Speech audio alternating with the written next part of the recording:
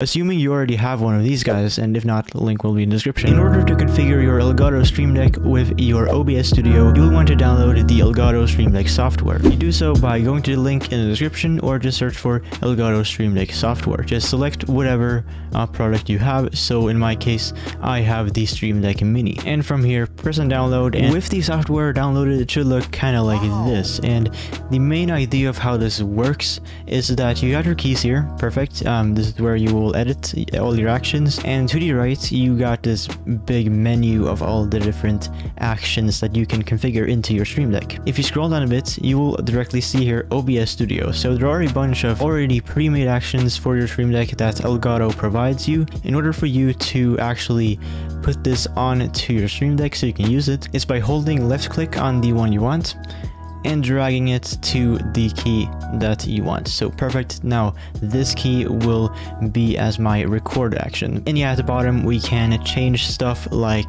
the title of it if you need a long press or just a simple press on the key for it to take action. You can also uh, change the icon of it um, depending on if you want to. If you're not happy with the ones that Elgato offered by default, you want to click on this keyboard RGB thing and you want to click on plugins. Basically just search at the search bar for OBS. For example, the best one is this one OBS Tools. However, you also got the Stream Elements plugin for example and uh, yeah you can see you can check out the other ones as well uh, if you want to. So you want to click on download and you got all these brand new uh, actions that you can put for your Stream Deck. Like I, I can't tell you exactly what you should have.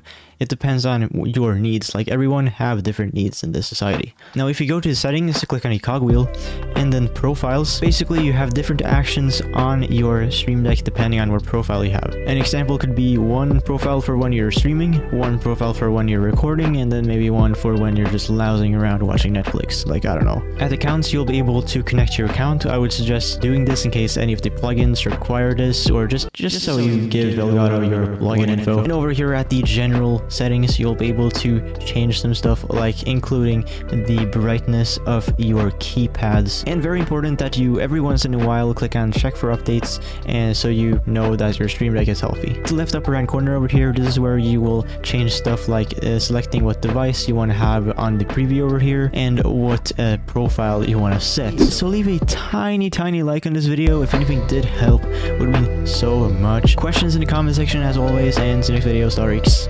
out.